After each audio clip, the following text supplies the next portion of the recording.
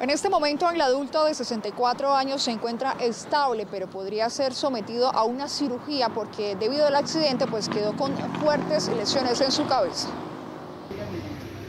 En cámaras de seguridad quedó registrado el momento en que una patrulla de la policía arrolló a un hombre de la tercera edad mientras este cruzaba en una zona escolar. Intentaba cruzar una zona escolar, eh, fue impactado por una patrulla donde eh, iba a acceso de velocidad eh, porque es una sola escolar. Eh, mi papá eh, pues pierde el conocimiento, los policías le prestan pues el primer auxilio y llega una ambulancia.